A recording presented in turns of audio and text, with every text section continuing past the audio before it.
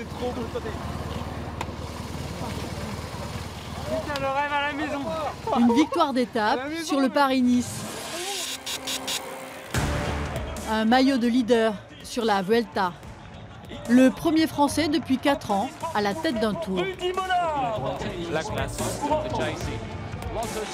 À 29 ans, Rudy Mollard atteint les sommets du cyclisme. Après quelques semaines de repos, ce matin, c'est sa première sortie de la saison. Chez lui, au col de Vence. Souvent, on s'emballe un peu au début du col.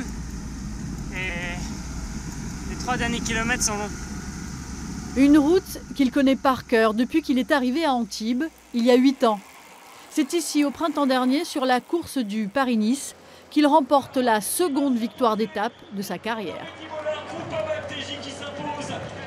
Juste le fait de, voilà, vraiment savourer en levant les bras et être le seul ce jour-là à, le faire, voilà, c'est une sensation aussi où on a dominé un peu les autres et on se sent un petit peu supérieur pendant euh, quelques secondes ou quelques minutes. Et c'est quelque chose de, grand.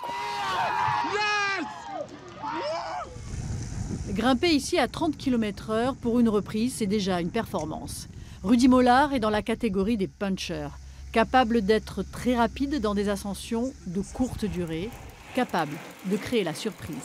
Les courses deviennent moins intéressantes, un petit peu trop stéréotypées, et je trouve que Rudy euh, incarne un petit peu cette fraîcheur de, euh, de, de, de, du nouveau coureur qui ose attaquer, qui, qui, qui, qui, change un peu les habitudes. Et je suis vraiment heureux qu'il y ait des coureurs comme Rudy. Allez, salut Rudy Il est rapide. Hein Suffisamment pour décrocher le maillot de leader sur le Tour d'Espagne. Son arrivée chez les grands. Lui dont la mission n'est pas de gagner, mais de faire gagner le leader de son équipe. En apparence, un sacrifice, au final, un dépassement.